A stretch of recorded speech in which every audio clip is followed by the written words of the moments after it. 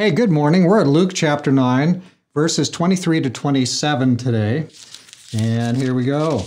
Then he said to them all, If anyone desires to come after me, let him deny himself and take up his cross daily and follow me. For whoever desires to save his life will lose it, but whoever loses his life for my sake will save it. For what profit is it to a man if he gains the whole world and is himself destroyed or lost?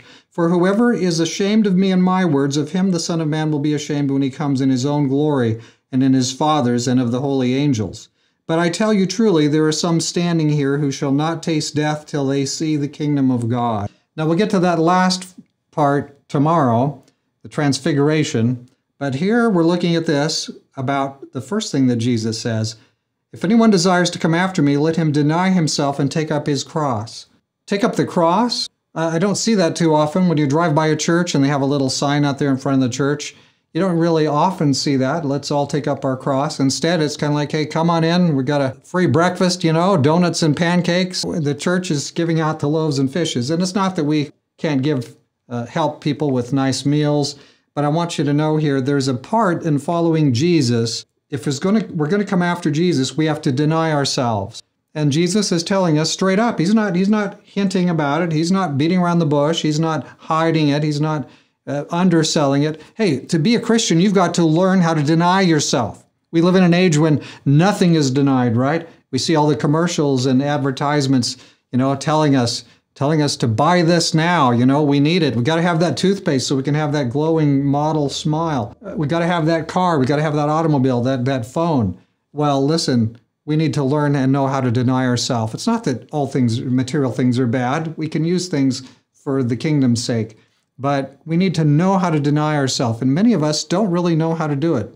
And, and, and it's, of course, it is because you can drive down and get your fast food in 10 minutes you know, you've got everything you need. It's all right there. Just push a button and it's there. We need to learn and know how to deny, not only deny ourselves the material things, but to deny ourselves the things that we might desire, that we might be seeking out, things that might even be good, but in moderation. Help us to have that moderation. Uh, and so, friend, Jesus is telling us there's a part, there's a part of self-denial. Being a Christian means self-denial. If you're part of a church where there's no self-denial, it's not a Christian church. This is the teaching of Jesus. If you want to keep your life, you know what? You're going to lose it.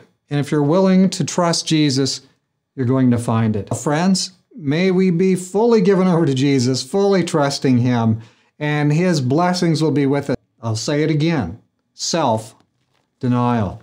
Let's pray.